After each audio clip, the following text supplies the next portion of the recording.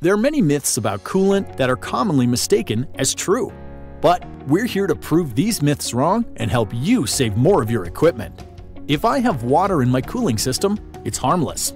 All water is not the same, meaning some water is not safe for the engine. Water can include many types of contaminants, including magnesium, calcium, chloride, and sulfate levels that may not meet OEM specifications. For example, drinking water should be safe for human consumption, but the amount of minerals present may be unsafe for the engine. A high total hardness increases scale potential.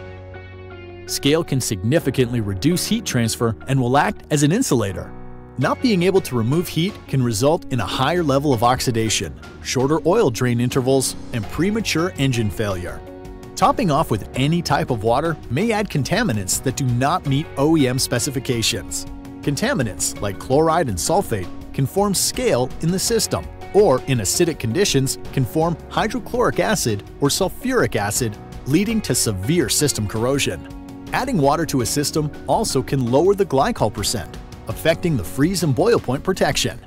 Boiling internally or the fluid freezing will affect overall equipment health and may lead to failure.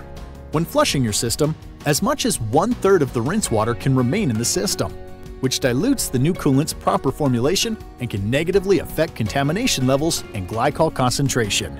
With dilution, the coolant inhibitors will be affected as well. A decrease in your corrosion protection levels will lead to corrosion in the cooling system, since inhibitors are no longer adequate for metal protection. Environmental changes, such as drought, flooding from heavy rainfall, or earthquakes, can affect source water properties, even if the water once met specifications.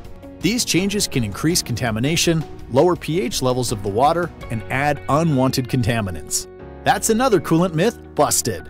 Watch more videos in our series to see us prove common coolant myths wrong and help you save more of your equipment.